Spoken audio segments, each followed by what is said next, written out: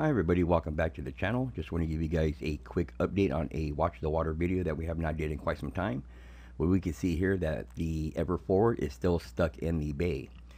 Now, if we go and click on this map here, we can see that yes, the uh, the Ever Forward is here, and we can just see that these tugboats have just been going back and forth uh, from the port um, back to the container ship. Now they're going to try to do something different here. They're going to try to remove some of these 5,000 containers uh, from this cargo ship uh, to uh, refloat it.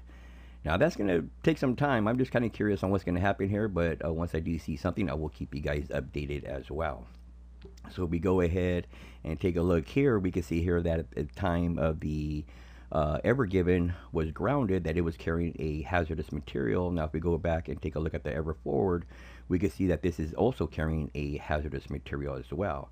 So again, I will keep you guys updated on this. Now if we go and take a look here, uh, at the spa. We could go and zoom in. We can see that we do have our uh, tugboat here. And we also have a law enforcement uh, vessel that is here at port.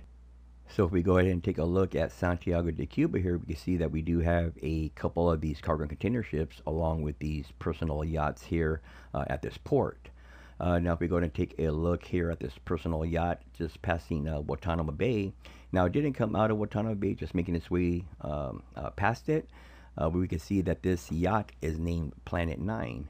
Now we're going to click on this image because it's always good to have a visual on what we are talking about. We can see that this yacht here does look a lot like the Flying Fox, but of course it's not. Uh, let me go and back up out of there.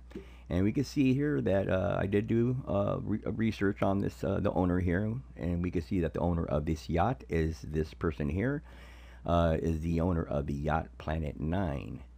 Now again, this yacht is making its way to Santiago de Cuba, so I'm guessing there's some kind of party going on there or something's happening. But again, since we are the uh, the paparazzi of the ocean, we will be keeping a eye on this yacht.